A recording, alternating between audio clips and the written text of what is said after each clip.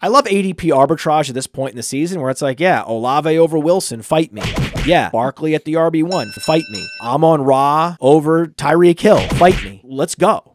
Right? Rachaad White over everybody, fight me. And then in this particular case, we want to go deeper. Yeah, we'll go deeper. I'm happy to go. I'll go as deep as possible. We'll go to all day three receivers. How about that? That's how deep I'll go. And I'll go Trey Palmer over Puka Nacua.